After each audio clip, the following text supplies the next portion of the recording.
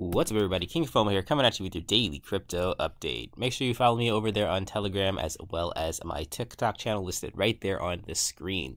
All right, so today we're going to talk about BNB yield yet again. So I'm taking a second look at this thing because the game theory on here is actually really, really interesting compared to what I looked at yesterday.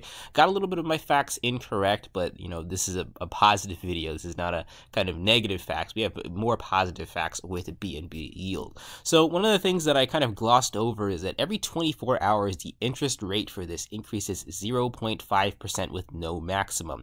So previously, I said that it's always really good to get into these things in the beginning. The beginning's the best time to jump in, this, that, the other thing with these percent daily contracts. But with BNB yield, it's actually really different. They actually force compounding and they really force you to think about when to jump into here because the beginning is not necessarily the best time to jump in. Um, as you can see right here, uh, this is the video that I made yesterday. And yesterday I jumped in, I put in 0.3 BNB and my daily profit was locked in at 12.2%, giving me a total return of 170.8%, uh, also known as in 14 days, I would get 0.512 BNB. Now, here we are about half a day later. If I were to put in the same amount, this 0.3 BNB, instead, in 13 and a half days, that's less time, I'm getting more BNB. So 5, 0.512 compared to to 0.525. So this actually benefits the people that are coming into the contract at a later date. Uh, they're going to be making more than the people that got in in the beginning kind of uh, because in addition to that the people that got in, in the beginning if they're going to do withdrawals from here 30% of their withdrawals go to their reinvest wallet. Now, they can compound their reinvest wallet and put it into another plan like this. Again, the, the first plan right here, and they'll get the higher rate for that plan.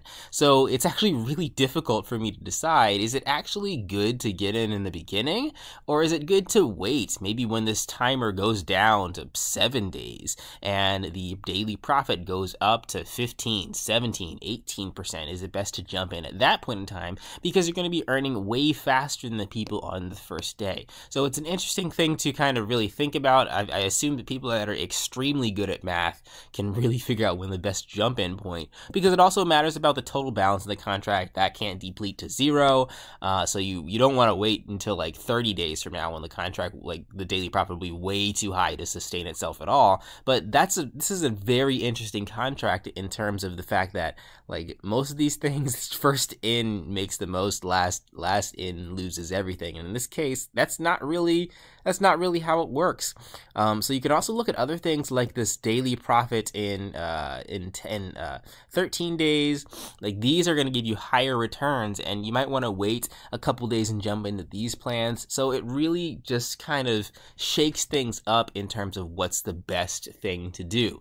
Uh, like I said normally all the time 99% of the time the plan that pays the most is the best plan to jump into immediately. And that's really not the case for BNB yield so check it out for yourself, guys. I like I said, I can't tell you what the best strategy is, but just keep in mind that every 24 hours, these rates are going to go up, and as they go up, you're going to be making more. So is it is it in your best interest to join in the beginning? Is it in your best interest to join three or four days from now? To not join at all? That's something that you really have to decide. But take a look at this one. I haven't really seen anything like this. Of course, I've kind of been out of the game for the past couple weeks, so maybe there's something similar to this that came out.